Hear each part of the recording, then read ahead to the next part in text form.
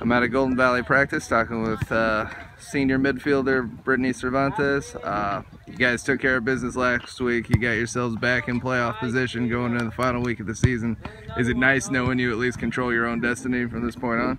Um, yeah, it was definitely a huge reliever to win after the Turlock game, um, but we know there's a lot of what ifs this weekend. So I mean this week, so hopefully we come through with big two big wins. Yeah, you got Atwater, and then you finish with Merced, and you know what a game that always seems to matter in the end. Um, you know how how tough is it going to be not to to look past that first game and to make sure you take care of business there. Um, I think we're all I mean, we don't. We're not really nervous. We're pretty set. I mean, we know who their goal scorers are. We know what they have. We know what their weaknesses are. Same thing with them. They know what we have. So I already know both teams are going to come out really hard. So it's just basically whoever can handle the pressure, I guess.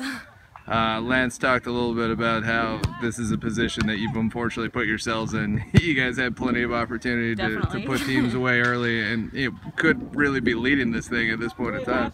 So, uh, you know, how, how much I don't know, pep in your step did everybody kind of get after that win? And, and, you know, how much energy do you need to kind of finish it off now?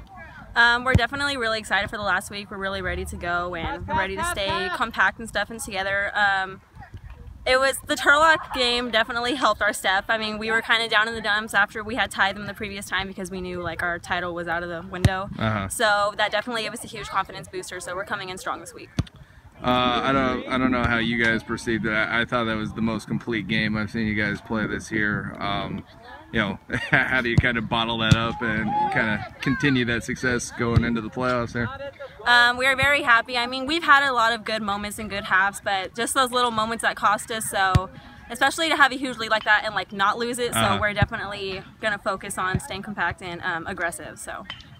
Yeah, I mean, has that been part of the problem? You, you guys ease up a little bit, and yes. then all of a sudden the other yes, teams get a little too comfortable, too a little bit too happy with our win, but yeah. we now know that it's like now or never, so we're ready to go. All right, cool. Thank you very much. Thank you.